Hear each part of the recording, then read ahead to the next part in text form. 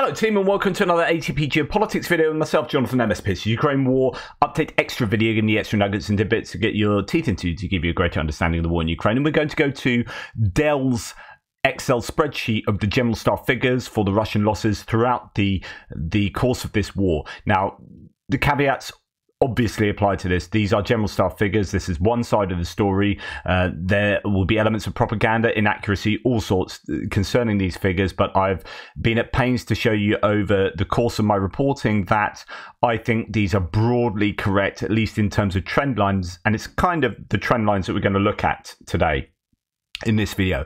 I've done this maybe three times before, so I have to say a massive thank you for Del for putting these together in his own time. Uh, they are the link to this. There's a OneDrive link, an open source link that is available for all of you to click on in every single description to my videos, uh, apart from maybe the live ones when I do live streams. But that link is there, so please go and check this out on a daily basis if you want to. Uh, he has those figures and anal- uh, well, doesn't analyze them; he pre- presents them, and I will do the analysis. I am just it's going to be stream of consciousness as all of my videos are. So I don't know what we're going to find, but I'm sure I'll have something to say about them. Uh, so, so the raw data is on this first part of the uh, the worksheet. What I'm going to do, however, is I am going going to move myself. No, I'm not going to do that. That was that was clearly ridiculous. I'm going to move myself to the top of the screen so I don't get in the way of the data, the graphs, which I have done in the past. So we'll go to personnel now. So this is what the personnel losses look like uh, over the course of the war.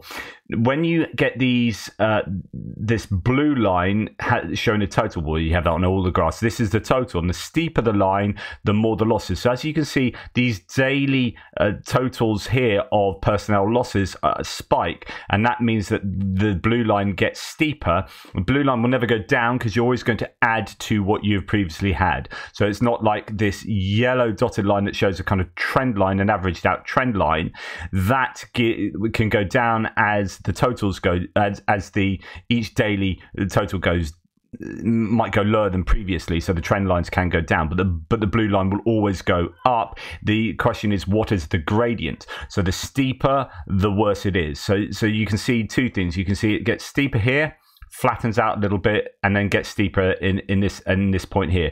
So we look here at the first area of heavy losses, and that's October, November, December in 2022, and that was at the time of the Kharkiv lightning counteroffensive and uh, the Kherson counteroffensive, where the Russians lost uh, a large amount of ground, but also a large amount of equipment and personnel. That's what we ex- would expect to see, and we we see these these losses representing those activities. Then then in April, May, June, July, August, the Russian losses were not huge. There's a little bit of a spike here in June as the Ukrainian counteroffensive kicked into gear. Um, but generally, it was not a case of the Russians losing huge amounts of equipment. In fact, what's interesting is that Russians lose more equipment and personnel when they attack, it appears now. So apart from the, the huge success of the the unpredicted Kharkiv lightning counteroffensive and what took place in Kherson, uh, we we now we now have this situation where the Russians are throwing themselves at quite entrenched uh, Ukrainian defensive lines, where the Ukrainians have a lot of drone, a lot more drone capacity than they did previously, and so therefore the Russians lose a lot of equipment in attacking. And so th- this leads me to then claim, as I did yesterday, that the Ukrainians have good reason to sit on the defensive for the next four or five months if they can continue to attrit the Russians at this rate.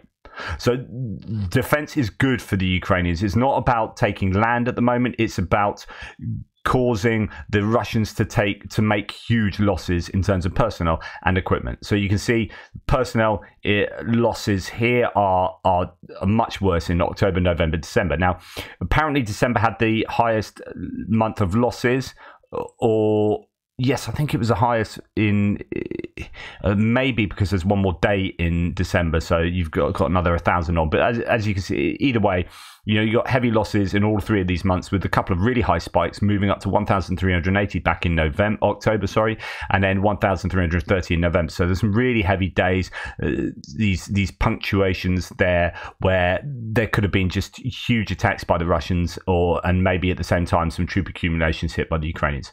So that that's that's the personnel list here. We have a tank loss. Uh, and you can see the, the, the, vast amount lost right at the beginning. That was when you had those huge columns that were hit by Bayraktar drones and other munitions at the beginning of the war. Uh, and then we had, re- again around September and October, the Kharkiv lightning counteroffensive, where they lost huge amounts of equipment that was just left abandoned. The Russian, the Ukrainians took. Uh, captured a bunch of equipment, so on and so forth. So you got these these areas where uh, the Russians have, have lost more, and then it gets into October, November, December. And again, what's interesting to note here is that these moments are not when the Ukrainians were attacking. So interestingly, when the Ukrainians were attacking in May, June, July, August, we actually had fewer vehicles being lost, fewer tanks being lost, and the tanks appear to be used by the Russians in their offensive operations. And, and that can be said at the beginning of the war as well. Uh, but they did lose a lot in, in because what happened in Kharkiv, if you remember, is that the Ukrainians broke through the lines and did this kind of almost like thunder run type thing where they were just they smashed through the lines and took loads of land really really quickly and almost came in behind the Russians and the Russians kind of panicked. They abandoned loads of equipment and so there would have been lots of tanks abandoned at that point, lots of APVs and other vehicles abandoned. So that's that's really what happened there. Then later on, you're moving towards the Kherson, that was more grinding, and actually not so much equipment was lost in the Kherson uh, counteroffensive because the Russians were able to operationally withdraw and get much of their equipment back across the Kherson, uh, across the Dnipro River, much to the consternation of, of pro Ukrainians. But you can see it's been fairly consistent in terms of the gradient of the blue line for tank losses until you get to, again, the end of the Ukrainian counteroffensive. So that's sort of October time period. Uh, beginning of October was when the Russians decided to attack at Avdiivka, and they just lost. You remember those columns and columns of vehicles that were were lost. That's going to include tanks, and uh, during that time period, they lost 55 tanks in one day.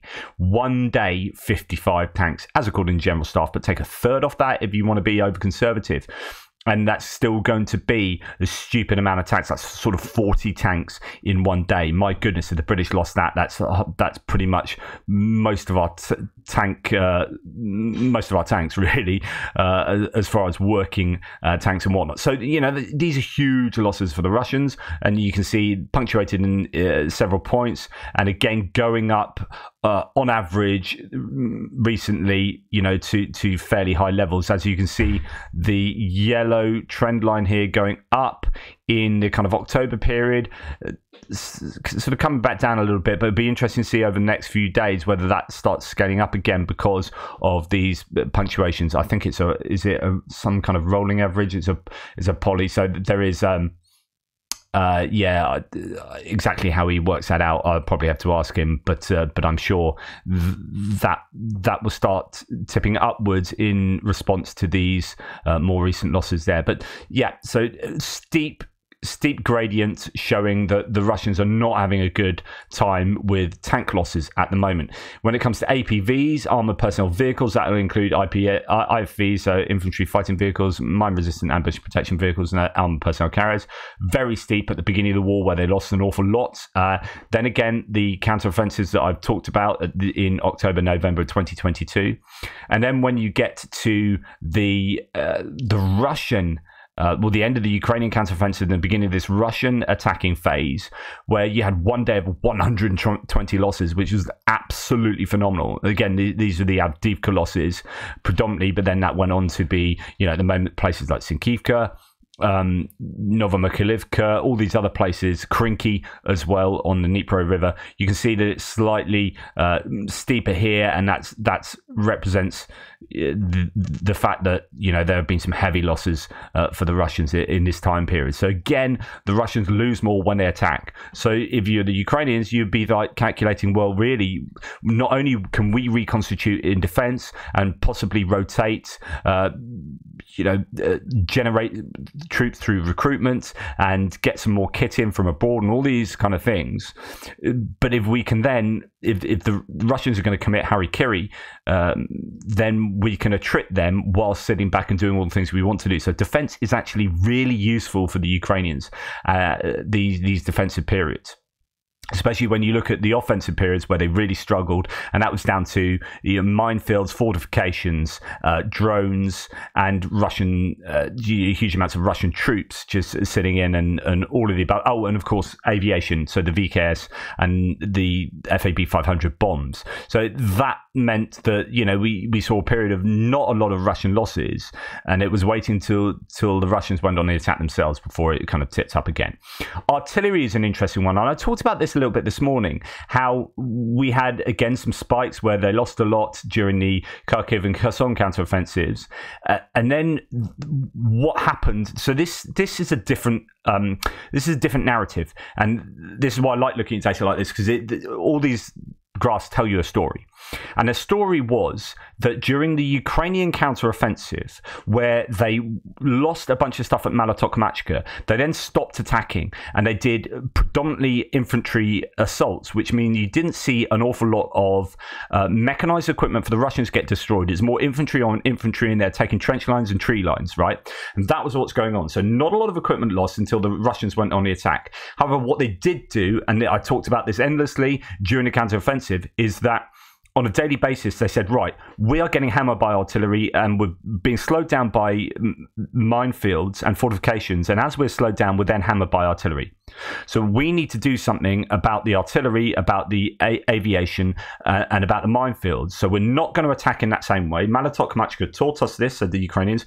We're going to we're going to stop throwing Leopard 2 tanks and Bradleys at the problem. We're going to send in sappers on the ground. We're going to try and demine, and we're going to send in infantry to clear out tree lines. But that's really expensive in terms of human losses. But while we are doing that, we're going to work really bloody hard to degrade the Russian artillery. And what what you've seen subsequently is counter battery fire being really effective. The use of Ukrainian drones, uh, particularly then, was asymmetrical uh, to, compared to the Russians, and they had an, a drone advantage, it, it seems. So, counter battery drone advantage, and then using HIMARS and GMLRS as well as Excalibur and all sorts of counter battery fire to to take out the individual pieces of kit has been something that's been ongoing and i showed you today again Buk a Buk launcher being taken out by HIMARS or similar so this is definitely what has been going on so what you what you see is that the Ukrainians suffered at Mala Tokmachka all went a bit wrong there. They scaled back their combined maneuvers,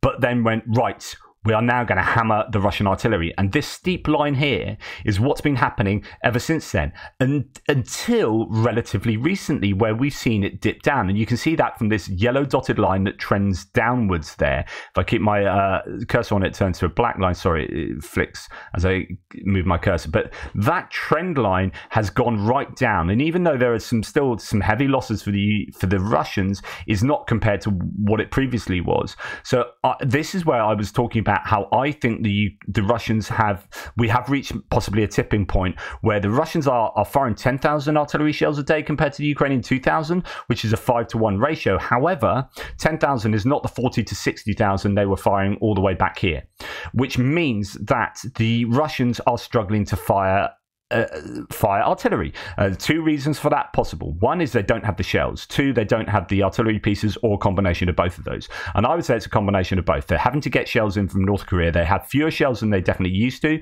um, uh, in terms of being able to produce them or procure them. And the Ukrainians have absolutely hammered the crap out of the Russian artillery, such that this this period from uh, May through to well through to now, but p- particularly through to sort of November, uh, had caused the the Russians to lose, you know, sometimes fifty, in this case, fifty eight artillery pieces in a day. Okay, some of that's damage can be refit can be fixed and brought back to to to life to fire again, but you get the point. There's going to be a massive attrition of Russian, or there was a massive attrition of Russian artillery here, and that now translates into one fewer bits of pieces of artillery to be targeted. So they just have fewer artillery pieces and two uh, causes the Russians to be unable to fire as many artillery pieces at, at, the Ukrainians. Then there are these complaints that there are no counter battery fire. The Russians are claiming that in the Dnipro River area, so on and so forth. So that is the the story that I think this graph tells us. Really useful. Thanks, Dale, for for just bringing this to our attention. I think it's so useful. Even if you scale these all back by 30%, do that across the board. We found out from the analysis around Avdiivka that the up and down of the general staff figures uh, correlates exactly to the up and down of actually what happens with visually visually confirmed losses. So whatever you say about the general staff figures, they are consistent. E- either they are consistent, on point, totally accurate, or they're consistently inflating the figures by the same kind of amount. In other words, if you take 20% off or 30% off, these graphs will still tell you the same story.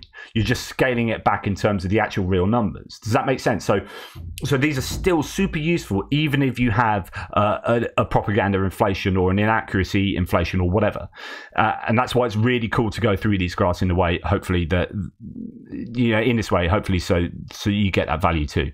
Right in terms of multiple launch rocket systems, the problem is it's all a bit jaggedy. Why is it jaggedy? Because when you don't have as much data, it's easy to have anomalies.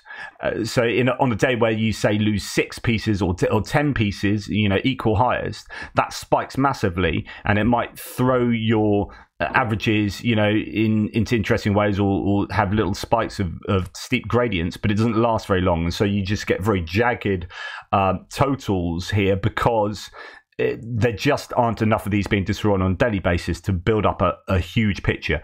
Um, you can see that they lost a lot near the beginning, relatively speaking, and there are these periods of you know denser losses, more consistent daily losses. But again, it's really uh, you know this is the, the picture that the only real story that you can get from this is that since the Mala Tokmachka situation where they sat back and said we need to hit the, Ru- Russian artillery, they've lost more consistently. So the Russians, the, so MLRS fits in line, generally speaking, I would argue, with the picture of artillery losses.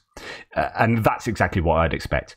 Uh, and I would expect the same to be true of anti-aircraft. So again, we've got you know fairly consistent but easy to have anomalies, uh, fairly consistent losses for air defense systems because they aren't, they only lose on average about one and a half a day but then when you start getting to the counteroffensive, that's when the Ukrainians realized they had to take out air defense systems to try and wrest back air advantage, at least, or something like that, to to, to give their helicopters a chance, uh, and yeah, and to give their drones a chance, etc., etc. So you saw this concerted effort with a couple of spikes of nine and eight being lost in in a single day at times during the counteroffensive, and we've seen that fairly consistently uh, take place since then. A little spike recently, uh, but it did go down. I think again you're going to it's going to be the same situation as with artillery, whereby they're going to start running out of targets for for their their drones or counter battery fire or whatever or, or GMLRS. So I think the Russians have lost a lot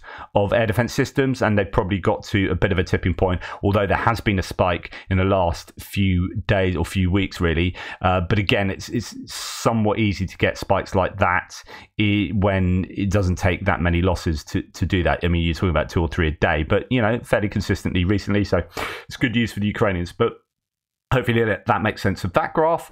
Uh, and then we have aircraft where they really steep at the beginning. So right at the beginning, why is that?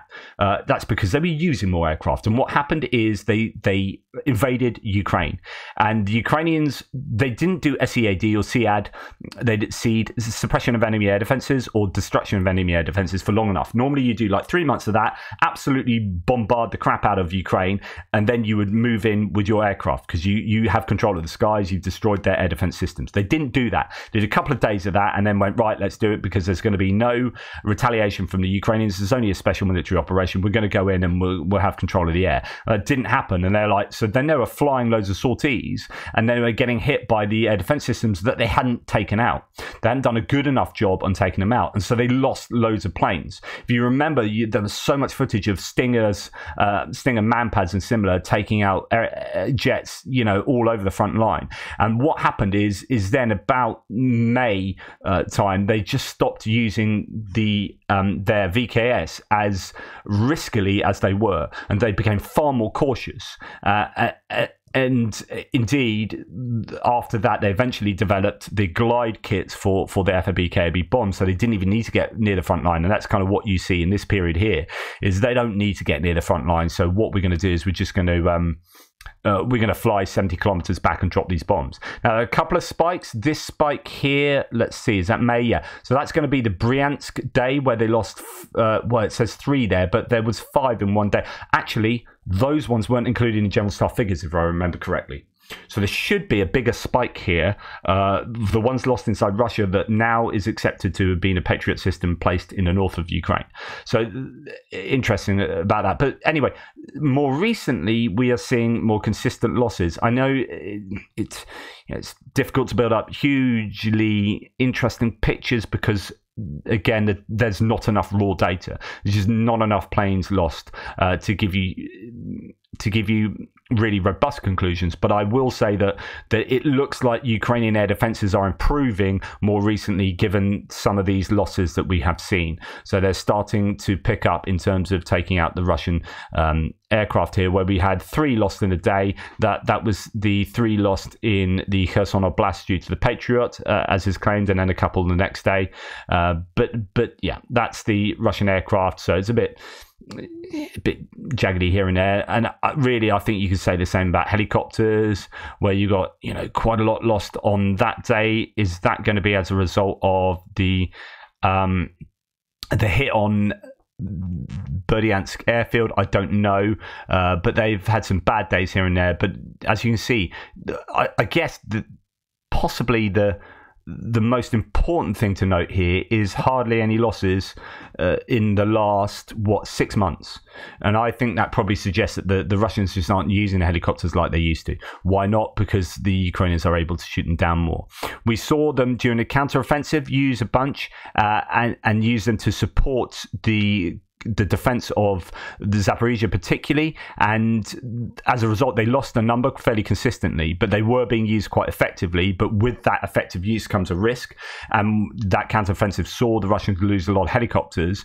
And then at the end of the counteroffensive, when the Ukrainians kind of pulled back a little bit and uh, sort of weren't attacking so so much, and it looks like the Russians were also using their helicopters less. Uh, and then uh, this is possibly then getting hit in Berdyansk and Luhansk.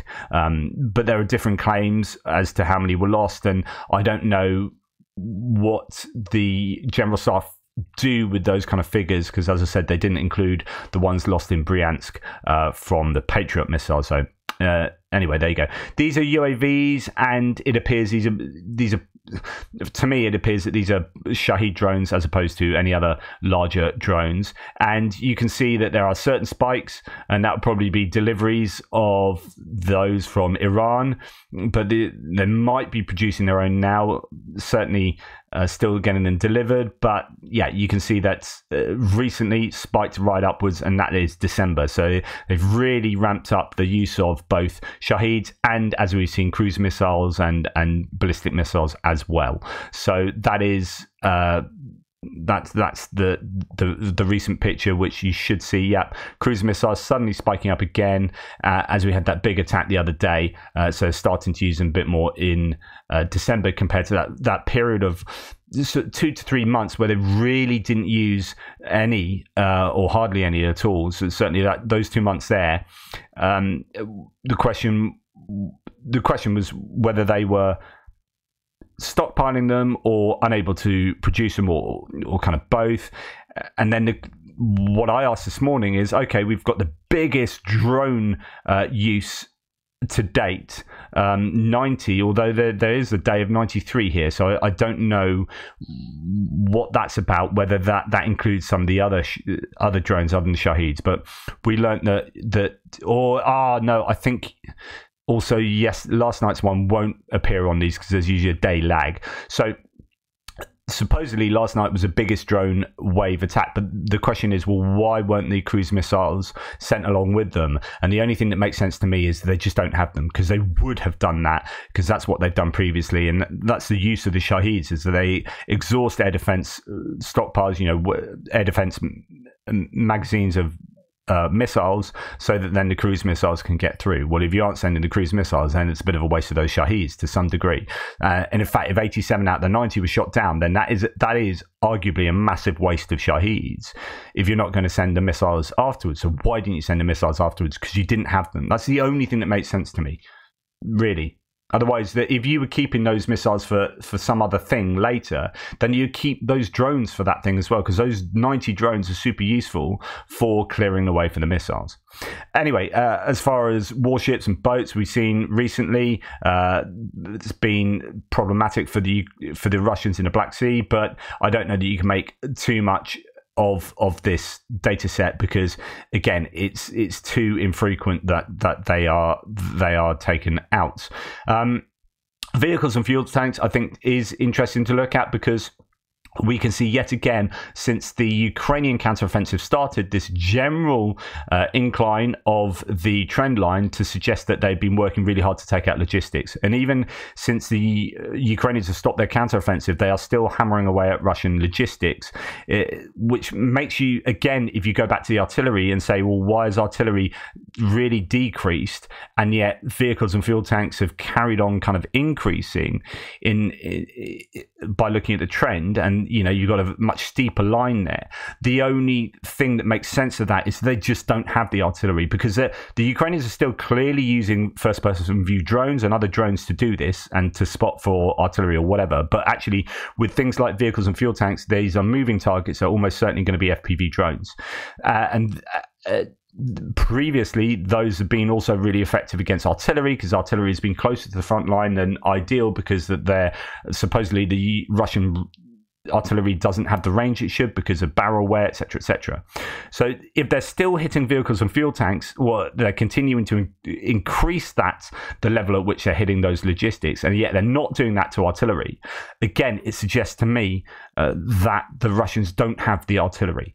So uh, again, the, all of these I think give such a, a rich understanding of, of the narrative of this war and what's going on on the front line. I really appreciate what Del has done in, in putting this together, as I say every time I go through these, and hopefully that gives you an understanding of where we are. And I think uh, to go back to what I've said many times before, the Ukrainians are in a much better position than they were a year ago, and the much better position they're in is add up all of this add up all of this stuff that has happened in the last year it's phenomenal. I mean, even with, you know with those warships as well. But you know, heli- uh, helicopters, aircraft, anti-aircraft.